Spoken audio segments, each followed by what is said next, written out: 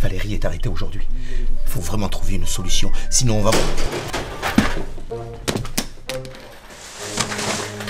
Toute la réactivité du premier réseau d'agences d'emploi en franchise. Oui, monsieur. Je viens d'appeler Temporis. Temporis. 100 agences d'emploi partout en France.